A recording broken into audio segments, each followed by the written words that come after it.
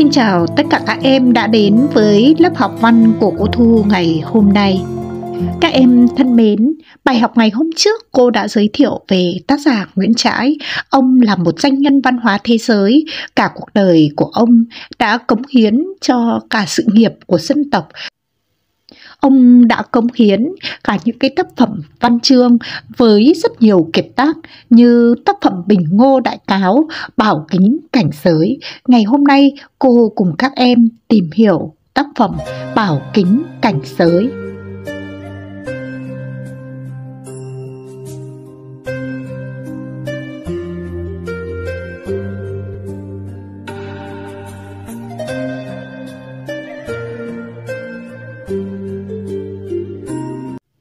Tiên thì chúng ta đi vào phần tìm hiểu về văn bản. Xuất xứ và hoàn cảnh sáng tác. Văn bản này trích trong tập Quốc âm thi tập và ông đã viết trong những cái tháng ngày ở ẩn tại Côn Sơn. Với thể loại là thơ nôm đường luật và phương thức biểu đạt chính là biểu cảm. Nội dung của tác phẩm, nó chính là bài thơ bức tranh mùa hè tươi tắn, rực rỡ nhưng lại không trói trang. Đọc bài thơ ta có thể cảm nhận được tư tưởng, tình cảm, yêu đời, yêu thiên nhiên và ước vọng cao đẹp của nhà thơ. Về mặt bố cục của văn bản này thì chúng ta có thể chia ra làm hai phần.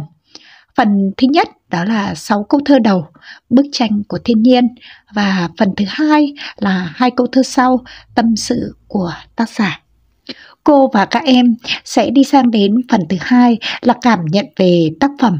Cảm nhận về tác phẩm thì cô sẽ ừ, cô sẽ giảng cho các em theo sơ đồ tư duy như ở trên bảng thì các em có thể dễ hình dung ra hơn. Thứ nhất, đó là về bức tranh thiên nhiên có 6 câu thơ đầu. Thì cái tâm thế ngắm cảnh của nhà thơ Nguyễn Trãi là ông ngắm cảnh vào thời gian rảnh rỗi, lúc mặt trời lặn, rồi hóng mát thuở ngày trường. Tâm trạng của ông là tâm trạng thư thái, nhàn hạ, không bị ràng buộc bởi công danh. Thế thì trong cái bức tranh mùa hè này nó còn có cái hình ảnh hình ảnh ở đây hình ảnh tràn đầy sức sống hòe lục đùn đùn tán dập dương thạch lựu hiên còn phun thức đỏ hồng liên trì đã tiễn mùi hương như vậy cái màu sắc trong cái bức tranh ấy đó là màu sắc hòa trộn, hòe lục, thạch lựu, hiên đỏ, hồng liên, sức sống mãnh liệt, đùn đùn, phun tiễn từ ngay trong cái bản thân của sự vật. Nó như muốn căng trào ra ở bên ngoài. Cho nên với cái màu sắc, toàn là màu sắc tràn nhựa, sức sống như màu xanh, màu đỏ và màu hồng của hoa sen. Thế thì tác giả trong một cái khung cảnh này, ông không chỉ cảm nhận bằng thị giác, mà ông còn cảm nhận bằng thính giác, bằng những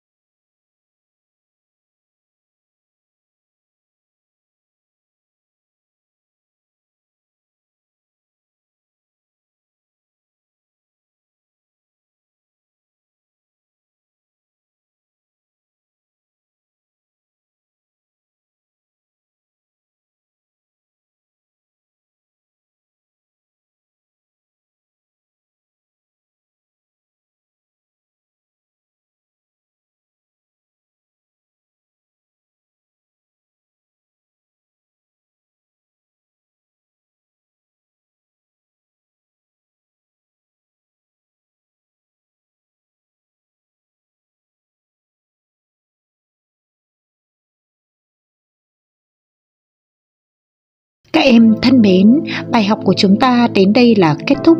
Cảm ơn tất cả các em đã theo dõi và ủng hộ cho kênh học văn của cô Thu.